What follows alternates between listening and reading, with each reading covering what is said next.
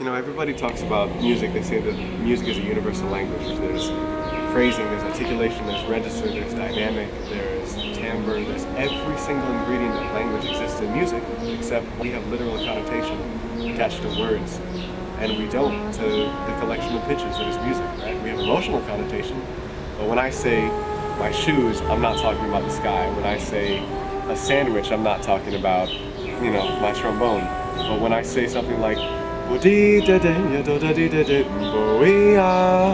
it's in absolute by nature, right? So to me, music with every expressive capacity of language, every single one of them, it is just by definition infinite.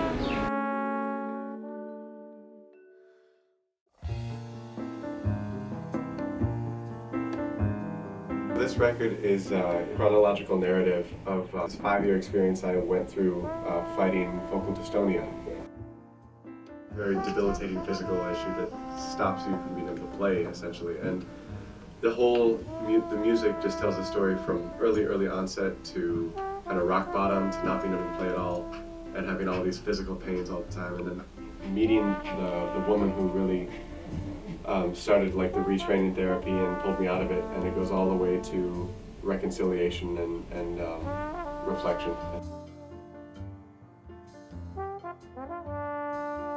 So the musicians on this record I've played with in so many different capacities and, and shared the bandstand with all over with them. It's been uh, it's a very special cast of characters.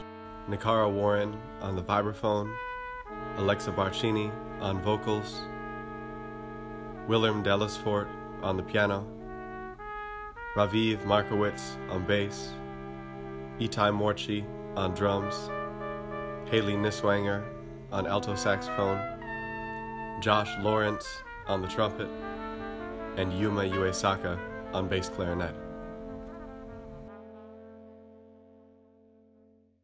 It was time to do this record. Everything kind of came together in a way that it was. Outside in Music was very supportive in the idea of the project uh, when we were really talking in inception, but um, this was the moment when I felt most over dystonia and that I could play and express myself naturally again.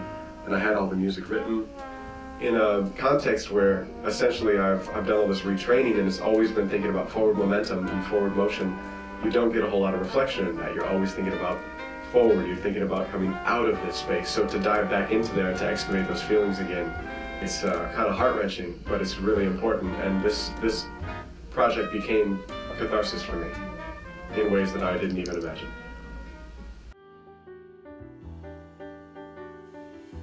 Is the second time Peter's been uh, in Big Orange Sheep, and we're you know really happy to have him back. But each each time he's brought like some you know really really fantastic music.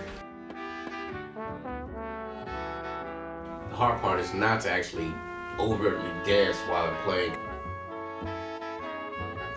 It's a huge conversation, a, a between dialogue between me and this person and the dance. It's, it's a lot that's going on.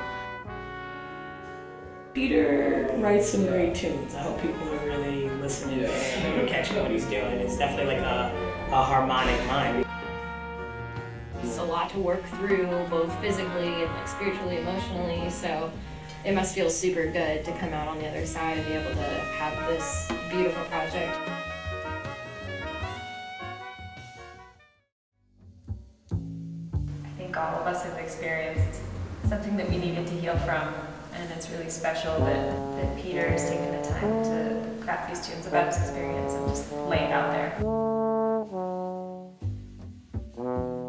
For anyone who's ever felt lost in the struggle, felt like they're fighting themselves or fighting their, their body, their environment, anything, uh, this music is for you. This music is for the hope that even throughout the pain, even through the doubt, that there is, there is uh, light at the end of the tunnel. There is a way to move on, there's a way to move forward. This is for you.